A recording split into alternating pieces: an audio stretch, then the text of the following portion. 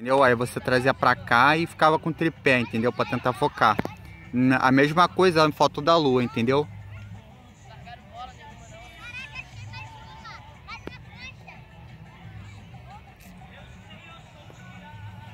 Aqui, aqui eu tô conseguindo ver o sol nesse vídeo aqui, ó.